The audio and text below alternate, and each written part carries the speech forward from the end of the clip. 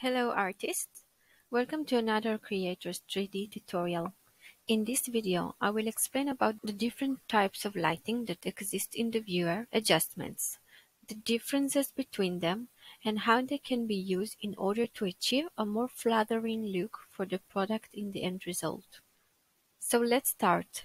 In the first stage, I will explain about the lighting that is in the scene category. Here is the HDRI lighting. This lighting is used as environment lighting. By clicking here, you can select different HDRI images. It is recommended to choose an image with the neutral colors, or one that will match the lighting we want and is approximately similar to the lighting that exists in the reference images. Usually, choosing a studio lighting will provide a good result. You can control the lighting intensity and its effect using the exposure of the lighting in the HDRI intensity sliders. In exposure, dragging the slider to the right increases the exposure intensity of the lighting, and here in intensity, dragging the slider to the right. Note that in this model, no significant difference in intensity can be seen because the material of which it is composed are very rough, but you will see very big differences in products that have materials with a high level of reflectivity, such as metals and various plastics.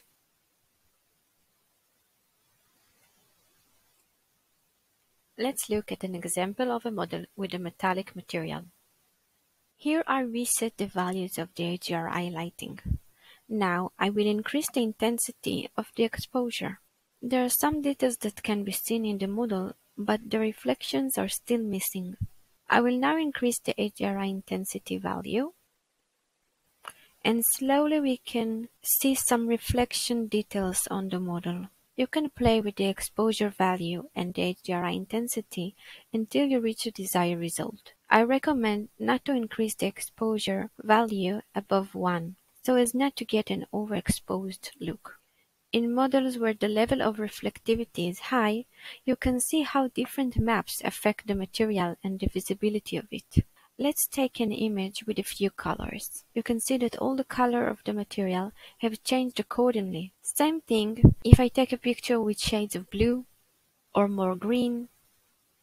Therefore, as I said, it is definitely recommended to choose an HDRI image that matches the overall color scheme according to the reference image. We will now move on to the lighting category. Above, you can see all the types of lighting currently available in the scene. Additional lighting can be added by clicking on Add Light. To edit a specific light, click on the desired light. You can see in the 3D window the position of the lighting in the scene marked with a gizmo. There are several ways in which the lighting position in the scene can be modified.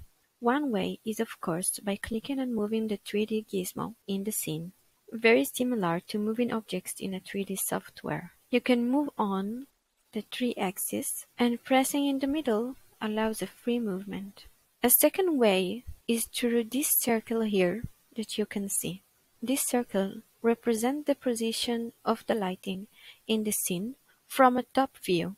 Imagine that our model is in the middle of the circle. For example, if I want to place the lighting behind the model, I will drag the icon of the lamp up, meaning backwards and if I want to place it in front of the model, I will drag the icon down.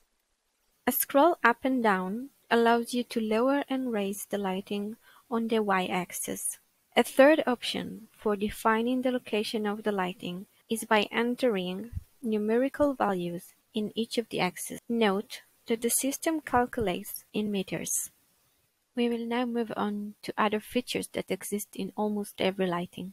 Here you can see of course the name of the lighting and you can also change it right here. For example, I want this main lighting to be called Daylight.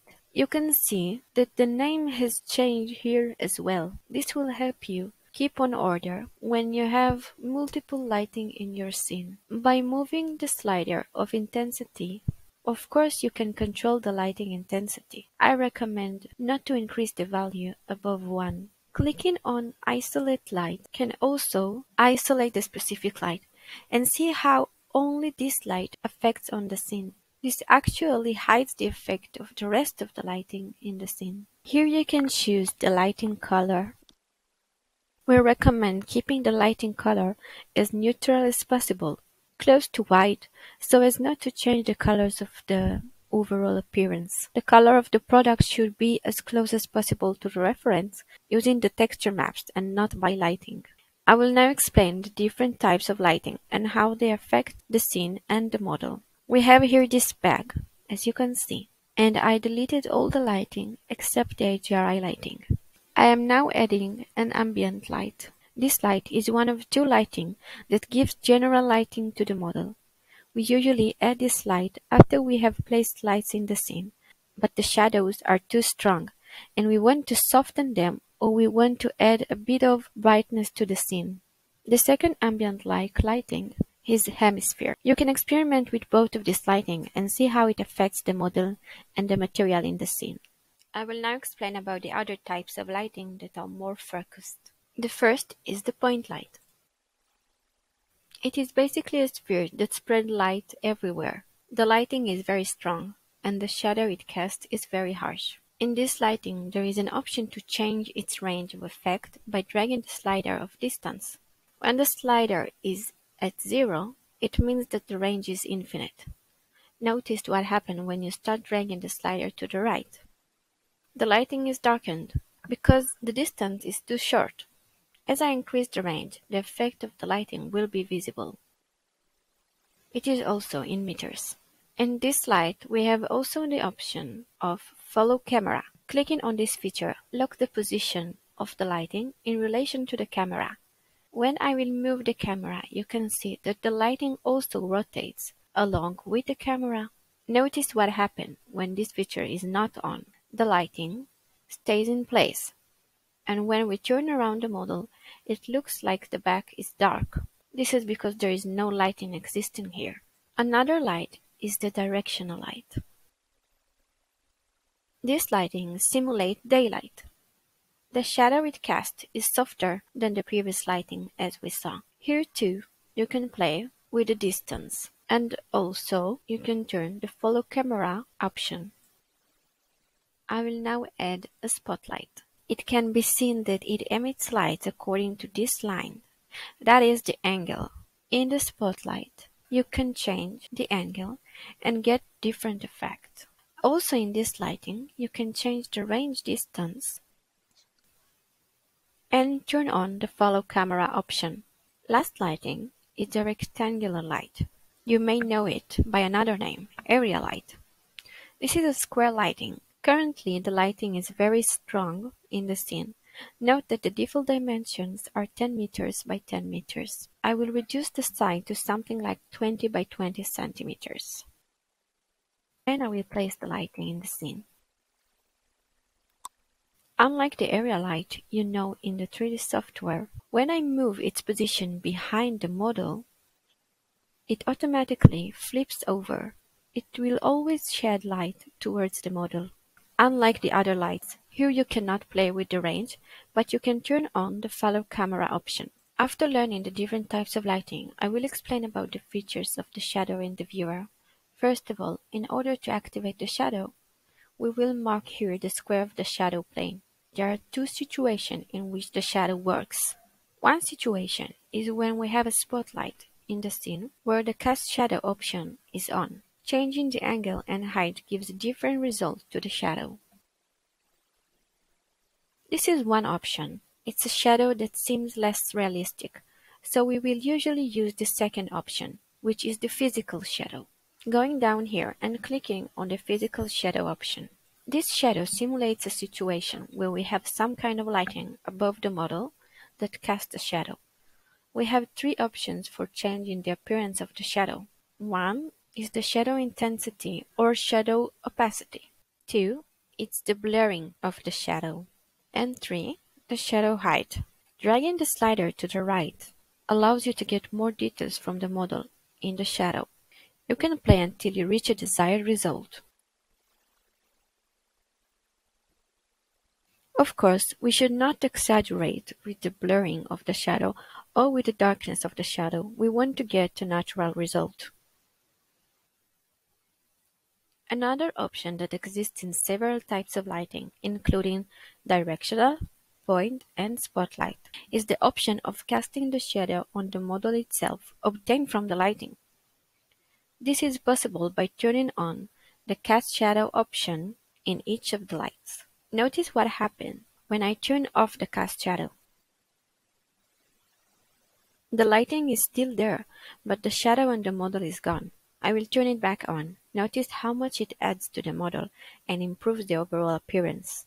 For this feature to work properly, it is not enough to turn on the Cast Shadow button. We need to perform another action. We need to go to Meshes and turn on, on each of the meshes, the Cast and Receive Shadow. By clicking on this three point right here, you can turn off and on the Received and Cast Shadow for all the meshes. After we have made the changes in the meshes, we will save the scene and we can see the shadow on the model. I will now demonstrate the process of creating lighting for a model. I like to start the process when there are no lights at all in the scene. Start from zero. The first thing I do, I am adding HDRI lighting. I am choosing a Studio HDRI image.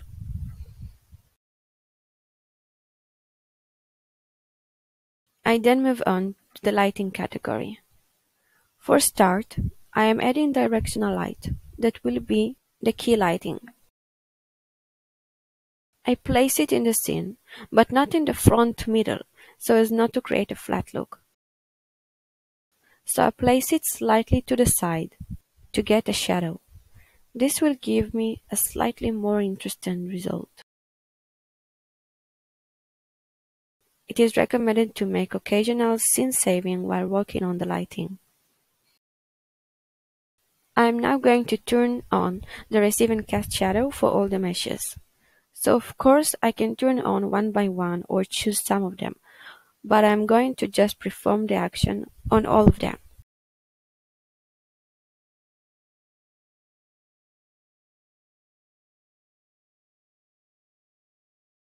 So as mentioned before, we cannot yet see the effect of the shadow because we need to turn on the cast shadow in the lamp. You can see that the shadow has artifacts. It happens because there is not enough resolution for the shadow.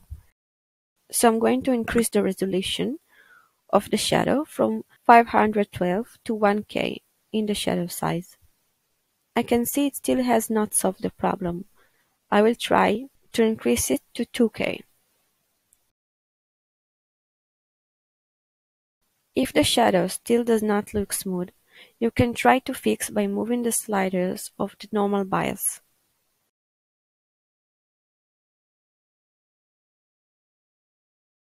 Note that it is very delicate sliders. If it freaks out, you can just reset it to the default state that is zero.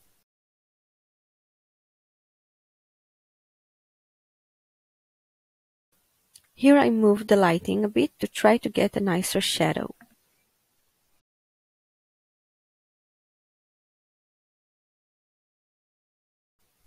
If I see that the shadow still does not look good enough, I will slightly reduce the intensity of the lighting and move on to add more lights. I am adding point light and turn on the cast shadow option. You can see the different attempts of position until I will get the desired result.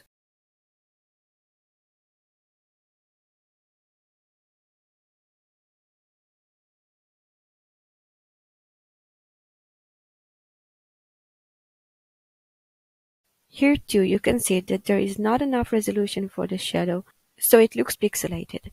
So I increased the resolution of the shadow size to 1K.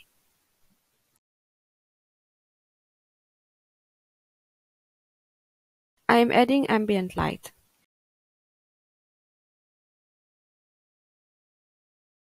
The intensity of 1 is too strong. I reduce the intensity to about a half.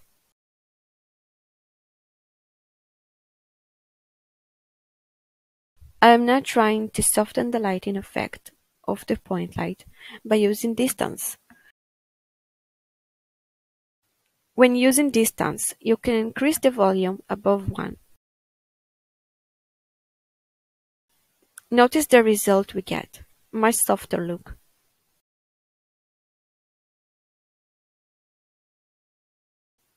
I am now adding another point light from the opposite side.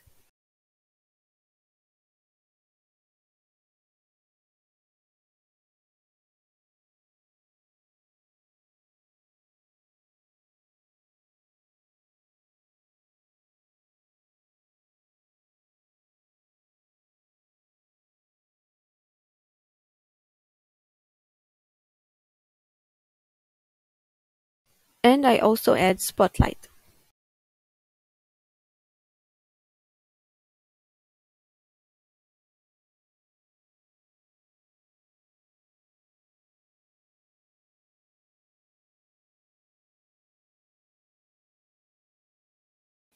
After I finish placing lighting, I will save the scene.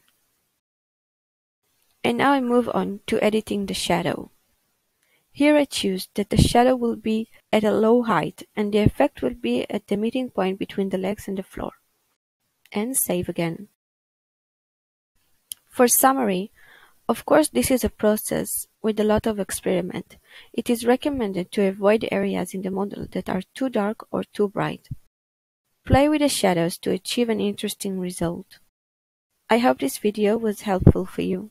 Good luck!